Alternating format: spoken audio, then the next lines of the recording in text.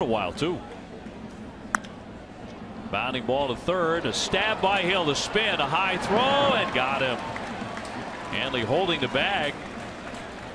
Well done by Hill. Yeah, nice play on both pots right there. First of all, uh, Hill having to make a decision to back up on that ball and get the clean hop. The throw's a little bit high, but Hanley with some pretty good footwork uh, over at first base. Boy, that ball, that ball really went down on Hill.